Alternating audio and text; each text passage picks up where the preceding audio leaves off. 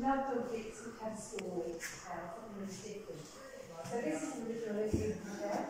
Um, have been here in Horace's time, so it's something that we. It's dated mm-hmm. And the reason it would have been of interest to see, apart from the fact that it's in the so it's old, is that